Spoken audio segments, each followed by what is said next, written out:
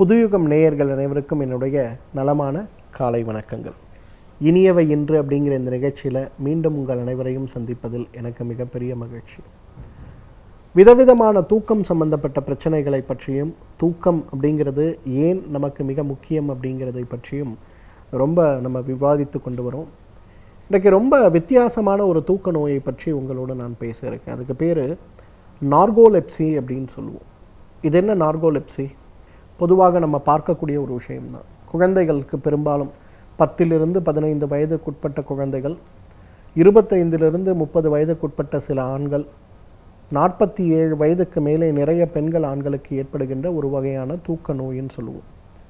இதென்னங்க narcolepsy பேரே புதுசாக இருக்கே அப்படின்னு கேட்டோம்னா பகல் முழுவதும் தூக்கத்தோடு சோர்வாகவே இருக்கக்கூடிய ஒரு நோய்க்கு தான் நார்கோலெப்சின்னு பேர்.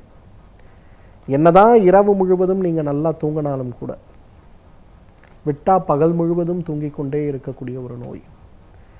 பட் அப்படி நம்ம இருக்க முடியாது. எழுந்திருச்சு வேலைக்கு தான் போகணும். வேலைக்கு போகும்போது ஒரு முக்கியமான மீட்டிங் நடக்கும்போது ஒரு பத்து நிமிஷம் நம்மளை அறியாமல் எப்படி தூங்குறோன்னே நமக்கு தெரியாது.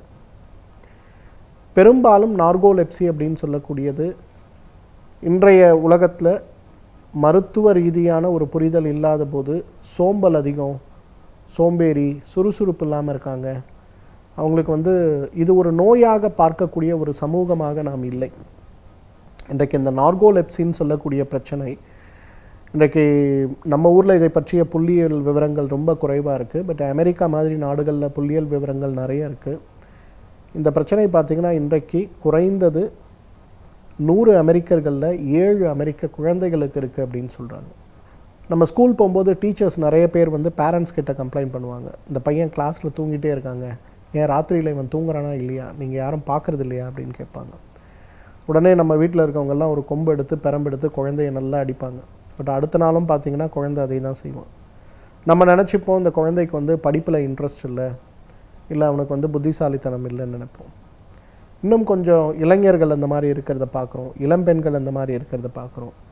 நாற்பது வயசில் நிறைய ஆண்கள் பார்த்திங்கன்னா இந்த பிரச்சனை தமக்கு இருக்கிறதுனே தெரியாமல் வேலையெல்லாம் ரிசைன் பண்ணிட்டு வந்துடுவாங்க என்ன காரணம்? என்னால் வேலை பார்க்கவே முடியல. எனக்கு கடுமையான சோர்வு இருக்குது எப்படா போய் படுக்க போகிறோன்னு இருக்குது ஆனால் நைட் ஃபுல்லாக நல்லா தூங்குறேன். பகல் ஃபுல்லாக நல்லா தூங்குறேன். எவ்வளோ டாக்டர்ஸை பார்த்துட்டேன். எவ்வளோ சத்து மாத்திரை சாப்பிட்டுட்டேன்.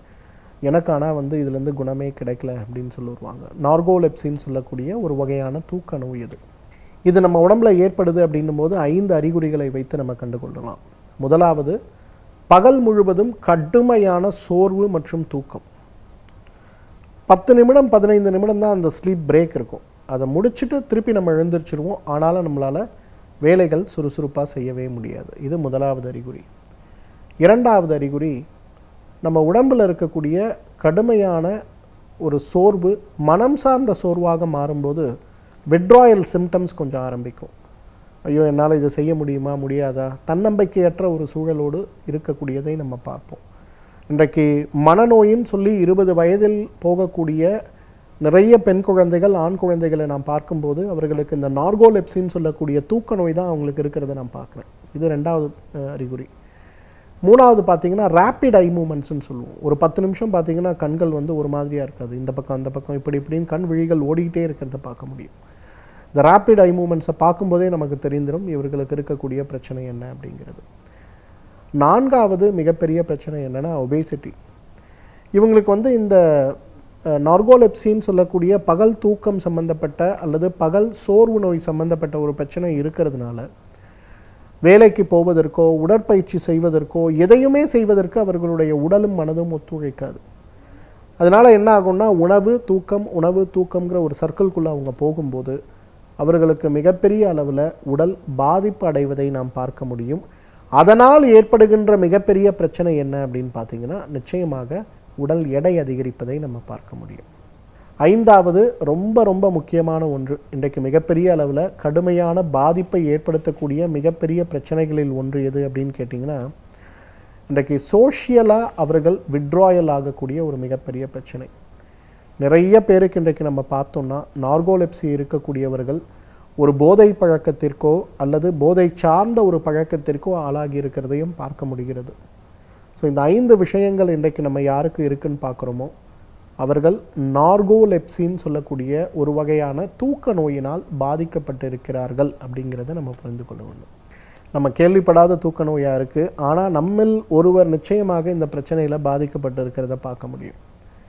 நிறைய பேர் என்னிடத்தில் வந்து சொல்லுவாங்க சார் நல்லா ஆக்டிவாக இருக்கேன் சார். காலையில் ஆஃபீஸ் வரேன் உட்காடுறேன் நல்லா மீட்டிங்லாம் போகுது. டென் மினிட்ஸ் பிளாக் அவுட் ஆகுது சார் எப்படி ஆகுதுன்னே எனக்கு தெரியல. உடனே இது ஒரு வகையான மனநோயாக இருக்குமா? இதய நோயாக இருக்குமா? சத்து குறைபாடாக இருக்குமா? அதாக இருக்குமா? இதாக இருக்குமா? எல்லாம் அது பின்னாடி ஓடி போவாங்க. கடைசியில் பார்த்தா அவங்களுக்கு ஒன்றுமே இருக்காது. இந்த ஒரு ப்ராப்ளம் இருக்கும். இதை மாற்றுவதற்கான முயற்சிகளை மேற்கொள்ளும்போது உடனே பிரிஸ்காகிறத பார்க்க முடியும். பெரும்பாலும் குழந்தைகள் கல்லூரிக்கு போகக்கூடிய ஆண் பெண் குழந்தைகள் வேலைக்கு அந்த டுவெண்ட்டி ஃபைவ் இயர்ஸ்க்குள்ளே இருக்கக்கூடிய ஆண் பெண் குழந்தைகள்.